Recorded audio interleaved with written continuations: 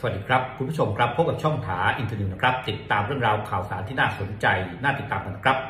มีความเคลื่อนไหวจากทางด้านมิคาอิโลโพโดลยักที่ปรึกษาประธานาธิบดีของยูเครนนั้นได้ให้สัมภาษณ์กับสื่อมวลชน เมื่อวันที่ 14 เมษายน 2567 ว่าปัญหาในตอนนี้คือจะจัดการแก้ปัญหาเช่นไร เพื่อรักษาระบบไฟฟ้าของยูเครน หลังจากที่กองทัพรัสเซียนั้น ปรับกลยุทธ์ใหม่ปฏิบัติการโจมตีโรงไฟฟ้าแต่ละแห่ง ด้วยการยิงจรวดมาพร้อมๆกัน 10-20 ลูก ซึ่งจะทำให้ระบบป้องกันภัยทางอากาศของยูเครน รวมถึงระบบป้องกันชั้นสูงของสหรัฐอย่างแพทริออตนั้น ไม่สามารถรับมือได้ทันเวลาวโลดิเมียร์เซเลนสกี้ซึ่งเป็นผู้นำของยูเครน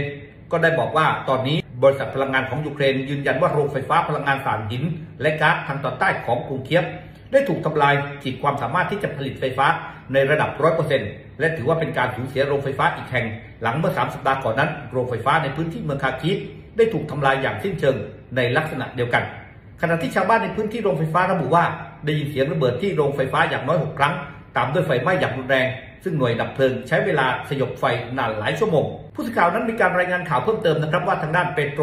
โอเล็กเซวิชชาวยูเครนที่อาศัยอยู่ไม่ไกลจากโรงไฟฟ้าบอกว่า ชาวบ้านในพื้นที่ต่างวิตกกังวลมาก เพราะมีความเป็นไปได้ที่โรงไฟฟ้านั้นจะไม่สามารถซ่อมแซมได้อีก ความเสียหายที่เกิดขึ้นนั้น รุนแรงเกินไป พร้อมทั้งบอกว่าการซ่อมแซมโรงไฟฟ้าเป็นเรื่องที่ไร้ประโยชน์ ในเมื่อระบบป้องกันภัยทางอากาศยังมีประสิทธิภาพไม่เพียงพอ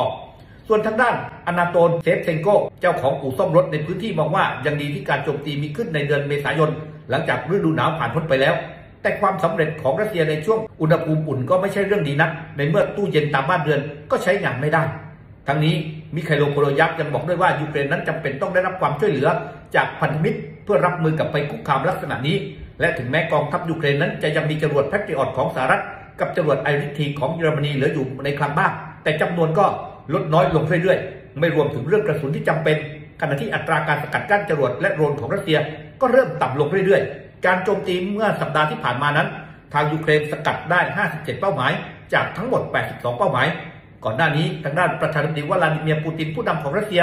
กล่าวว่า การโจมตีโครงสร้างพลังงานของยูเครน มีขึ้นเพื่อตอบโต้กองทัพยูเครน ที่ใช้โดรนเก็บหัวรบระเบิดโจมตีคลังน้ำมันในรัสเซีย และการทำลายระบบพลังงานของยูเครนก็ถือเป็นการลดขีดความสามารถทางการทหารของยูเครน ซึ่ง ปราณีแล้วเพราะเป็นการโจมตีในช่วงฤดูใบไม้ผลิไม่ใช่ช่วงฤดูหนาว ความเคลื่อนไหวนี้เป็นความเคลื่อนไหวที่น่าสนใจนะครับ ตอนนี้รัสเซียนั้นใช้กลยุทธ์ใหม่ ในการทำลายโรงไฟฟ้าของยูเครน ซึ่งแน่นอนว่าตอนนี้หลายฝ่ายนั้นหวั่นวิตกกังวล ว่าพวกเขาอาจจะไม่สามารถซ่อมแซมโรงไฟฟ้าให้กลับมาใช้งานได้เหมือนเดิม ซึ่งเวลานั้นเองก็อาจจะทำให้ยูเครนนั้นกลายเป็นรัฐที่มืดมิดนะครับ เนื่องจากว่าไม่มีพลังงานใช้ นี่ก็เป็นอีกหนึ่งความเคลื่อนไหวที่น่าสนใจที่ช่องทาง Internews เกาะติดนำมาฝากคุณผู้ชมกัน หากว่าคุณผู้ชมนั้นชอบเรื่องราวข่าวสาร จากต่างประเทศแบบนี้ ฝากคุณผู้ชมกด subscribe กดติดตามช่องถาอินเตอร์นิวด้วยครับ